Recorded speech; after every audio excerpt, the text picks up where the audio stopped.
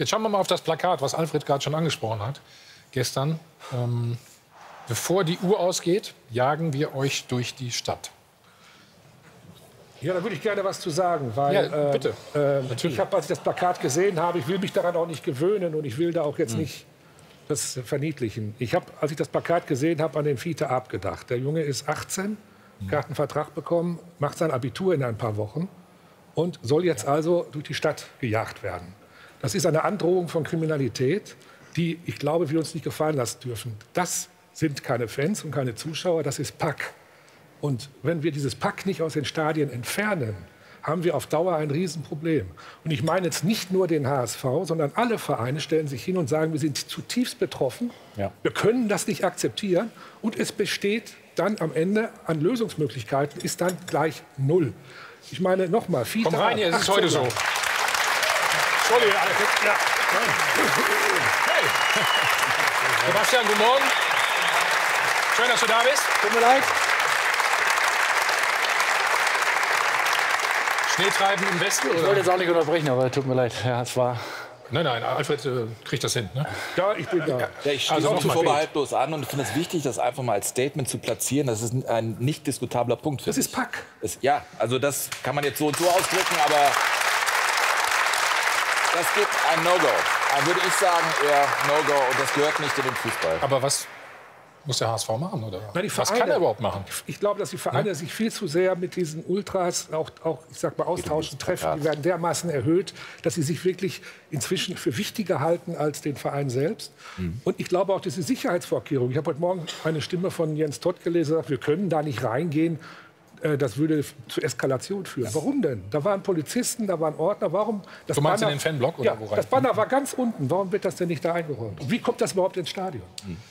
Wir müssen da einfach mal drüber sprechen. Und das betrifft alle Vereine. Also das passiert ja öfter, dass Sachen ins Stadion äh, Ja. gebracht werden. Ja. Möglicherweise ja auch schon richtiger. vorher. Das macht es ja nicht Macht's ja nicht Nein, nein, nein, ich will das gar nicht. Ja, überhaupt nicht. also- Sebastian, wir sind beim HSV, wie du merkst gerade. Ich Ne? Was, was habe ich verpasst? ist der ich Präsident würde schon gerne das trotzdem Ja, aber gleich. Ich würde es nicht äh, machen einen ne? Fehler, wenn wir das ganz, wenn wir das generalisieren. Die These, alle Ultras sind so drauf, ist falsch. Habe ich auch gar nicht gesagt. Ich sage, Vorsicht, Vorsicht. Alles Pack und so, das ist, man muss da ein bisschen vorsichtig sein.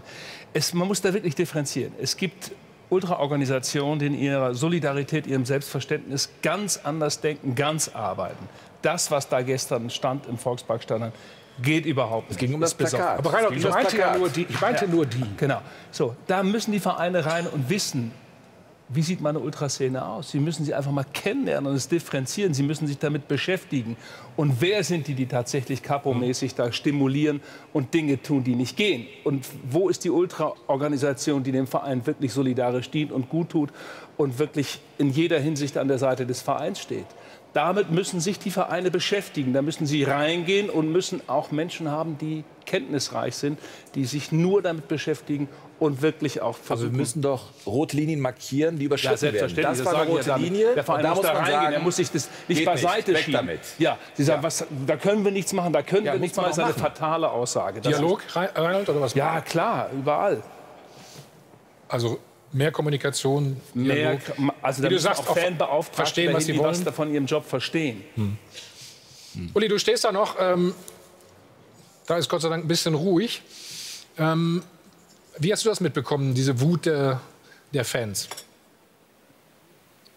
Ja, also wir kennen das schon aus den vergangenen Jahren, zumindest die Form der Busblockade, die es immer mal wieder gab. Gestern auch. Es sind zum Glück immer nur in Anführungsstrichen 20, 30 dieser, ich will nicht sagen Fans, sondern dieser Idioten, die auch äh, dieses Plakat hingehängt haben, die auch über den Zaun geklettert sind. Das ist zum Glück eine kleine Anzahl. Trotzdem muss man sie natürlich ernst nehmen und äh, natürlich ist, sind dann auch die anderen Fans gefordert. Die Nordtribüne ist gefordert, diese, mit diesen Fans zu reden, die, das Plakat vielleicht selbst zum Beispiel wegzunehmen. Also es ist schon eine brisante Geschichte und man darf ja nicht vergessen, wir müssen die sportliche Situation betrachten und der HSV steht tatsächlich so nah am Abstieg wie noch nie. Und der Verein ist noch nie abgestiegen. Diese Fans sind noch nie abgestiegen. Und ich möchte mir nicht vorstellen, was wirklich los ist in Hamburg im Stadion und um das Stadion herum, wenn der HSV wirklich mal absteigen sollte.